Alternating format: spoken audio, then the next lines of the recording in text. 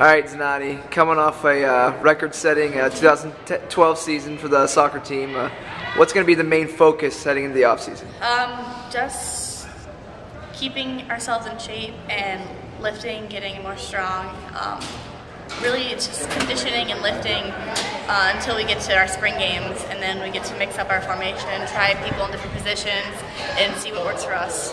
All right, thanks, Yep.